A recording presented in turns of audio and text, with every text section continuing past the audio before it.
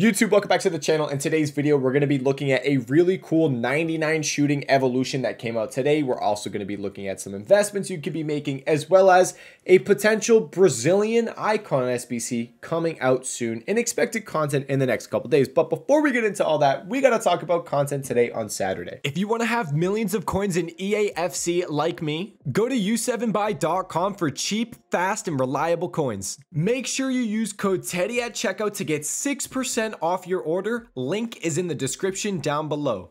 Content today on Saturday was solid. We got mini release, we got SBCs, we got evolutions. There's a little bit to go over. Let's start off with the SBCs. SBCs, what did we get? Player SBC, we knew this was coming. We said it in the previous video.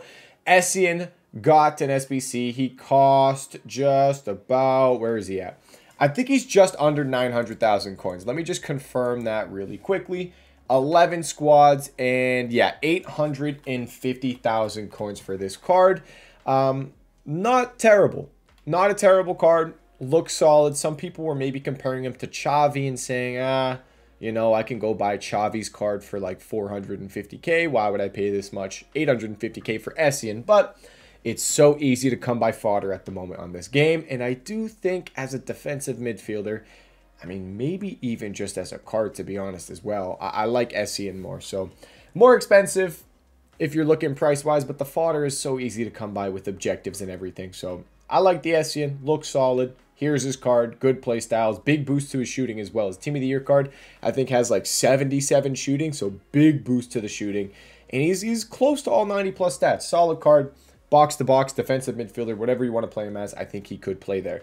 Uh, that was the player SBC of the day. The upgrade SBC for the day was an 84 plus times 7 upgrade.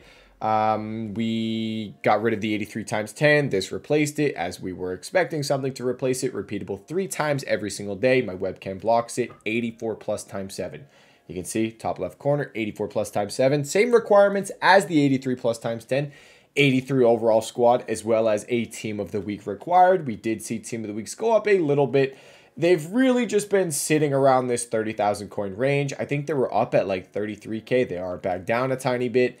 Um, and, and that's really that with Team of the Weeks. They have not been rising a crazy amount. We need, for them to really rise a good amount, you're going to need like, to see the 40K plus range again, you're going to need to see something like a fully repeatable SBC that requires a Team of the Week, like an icon.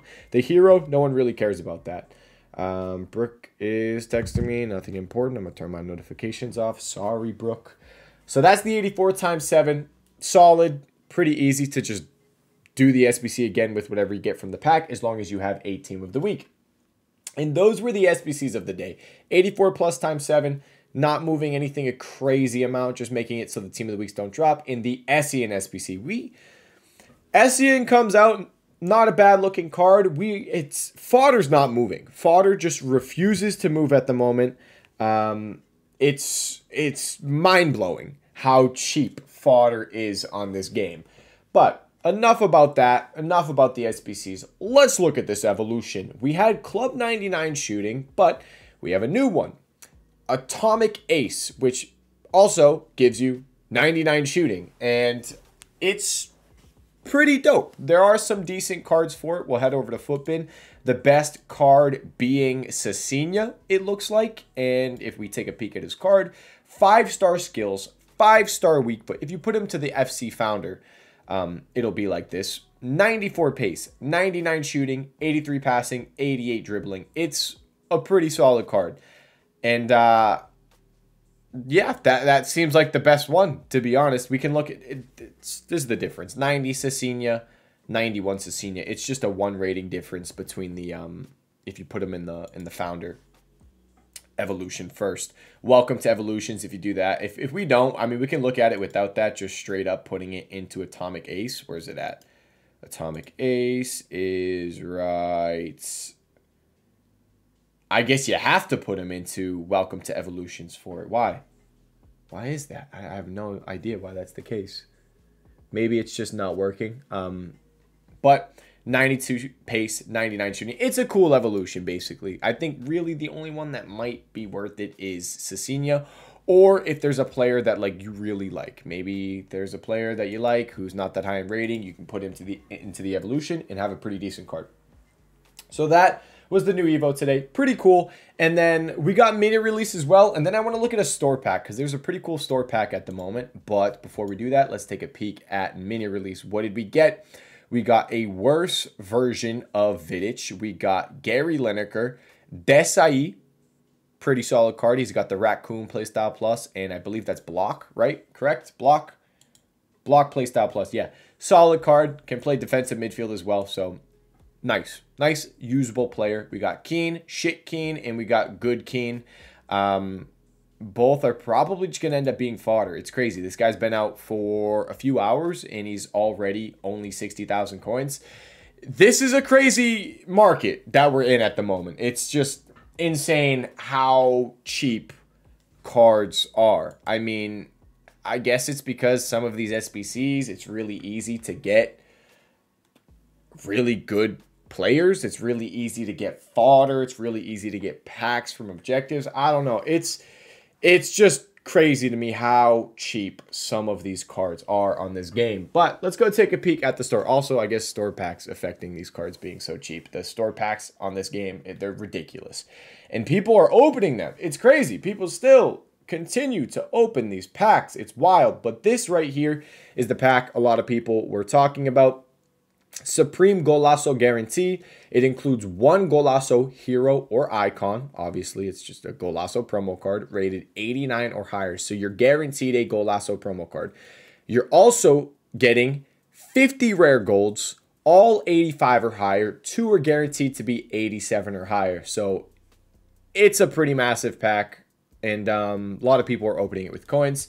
I think, is, is this the same one we had last week as well? I think it's the same one and it's just returned and it's it's just it's a massive pack. It, this is the pack. If you're looking for a pack to open, this is the pack that everyone was saying like value wise is best value, I guess we would say. So if you want to open it, I mean, a lot of people were even opening it with coins. If I could open the pack with coins, I would think about it, but I mean, I'm still out here with so many fantasy cards because I'm so lazy. I am just not selling them. I think 100%. Like, I know I've been saying this for so long 100%. I'm going to sell my fantasy cards. But, like, 100% my fantasy cards will be sold all tomorrow on Sunday. I'm done. I'm done holding tomorrow, Sunday. I'm gone. So, that was mini release. That was the story pack. That's pretty much content for the day. What's going on with fodder? What's going on with the market? You guys know I don't like the market. I think a lot of stuff is just going to keep dropping, especially as we get closer to team of the season, especially if we get a team of the season leak. And as you can see, Golazo Team 2 just going down in price. Golazo Team 1 as well. Uh, Ginola, before Team 2 came out, he was, I think, just over 3 mil. Now he's 2.7. Al-Owairan's down a little bit more. Cruyff, uh, everyone's down. Bobby Charlton, they're all down. Cafu holding his value actually, but it's just we're in a market that's just going down. And fodder as well is still just so cheap. Look at 85s below 3K, 86s below 5K. What? I was just looking at these. How are they this cheap? This is just insane. I mean, these fodder prices are getting crazy. And that's really the only investment I, I have. That That's it. Investment, fodder cards, but also there's one more. I want to mention Road to the Final cards. Uh, if you do want to pick some of these up, Champions League, Europa League, all those are returning next week. So Tuesday, Wednesday, Thursday. Uh, we could see some of these cards just go up in the hype of their game. Would I hold them into their games? I don't think I really would. But if you wanted to pick up some players and just sell them before their game, it's not a terrible idea. Like Tella is up against West Ham. If you want to try to pick him up for as close to 70k as possible, it's not a terrible move. He was just like 68k. Um, Emerson is up against Bayer Leverkusen. Bayer Leverkusen are really good. I don't know if I would do that. Any of these cards, you just buy them, hold them until their game. Sell before though. I don't think I would hold into the game. There's not many like guaranteed wins. Like Dortmund's up against Atletico Madrid. That's not going to be easy for either of those teams. Um, if we look in the Europa League, I don't think there's really an easy one. Milan versus Roma, maybe Liverpool, but Darwin Nunez is 1.35 mil, so it's just really expensive. Um, there's no like standout team, I don't think. But if you do want to pick any of those up and just hold until um, their games, that's fine. Now, fodder, you guys know what it is. It's just, hey, you buy it and we're going to wait till before team of the season. We've talked about this many times. I'm just saying the same thing over and over again. Uh, you're just buying now or you're buying Thursday. That's basically it. You're either going to buy now, it's really cheap, hold until before team of the season, or buy Thursday with rival rewards because rival rewards, it supplies fodder a lot and fodder gets very cheap. So the fodder that I'd be watching is anything you can do 84s, there's zero risk, but I'd there's zero risk. It's as simple as that. I do think they can rise, but I would try to target the 85s or higher. 85, 86, 87, 88 is probably as far as I would go. Um, and that's pretty much that. I'd say 85s try to get for like 2.7, 86s below 5K, 87s below 9K. You want closer to like 8.5, 8.6, 8.7, 88s as close to 13K as possible. Um, this Keane's the cheapest one. He does have a better version. Are they different at all? They're a little different. I mean, if you're going to be buying fodder anyway, you could pick up this version of Keane. Uh, and with that, you could try to list them for the price of the better Keane. Can you? Are the prices doable? It is doable.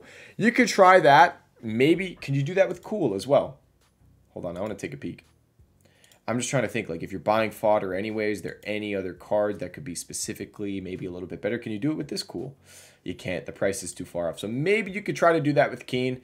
it's a scummy thing to do, but basically you list the Keane for the price of the other one, and you hope people buy your Keane instead of a 91 Keane. It's just it's just luck. That's really all it is. You're just hoping someone's blind. But that's the fodder situation, and you guys know the sell time on it. It's for before team of the season because before team of the season, we should get some sort of team of the season warm up type promo where they release SBCs. No one's really opening packs, so not a lot of supply, but there's demand for the SBCs. So you see fodder go up. We looked at it last year on FIFA 23 all fodder rose. Like everything rose because of all the SBCs that we got, and no one was really opening packs before team of the season. Now, it could be different this year. It, might not be the exact same. Store pack wise, everything's different. Maybe the way they do a team of the season warm up is different, but I'm just letting you know FIFA 23 fodder did really good before because of all the SBCs before team of the season. Now, the filters, we've been over it, but I'll just show it again real quick. Um, someone was asking about team of the weeks as well. Until team of the weeks come down in price, I'm not really going to be touching them. So I'm not watching team of the weeks. That's my answer there. Uh, your fodder filters, though, this is what they're going to look like. It should be pretty easy to get deals. That's your 85 filter, 21, 22, 99, 10K. I mean, look at all these bids. Just try to get some deals on bids. I, I really think you can make a lot of coins just doing this as a trading method. It doesn't even have to be like, hey, I'm investing. Just trading, doing this should make you some good coins. That's your filter for 86s, 36, 39, 10, 2, 5. Look at all those 86s that pop up. Can I bid? I can't. I still got to do the unassigned glitch. I, I think I have like four to 500 fantasy cards still left to sell, which is insane. Your filter for 87s is going to look something like that.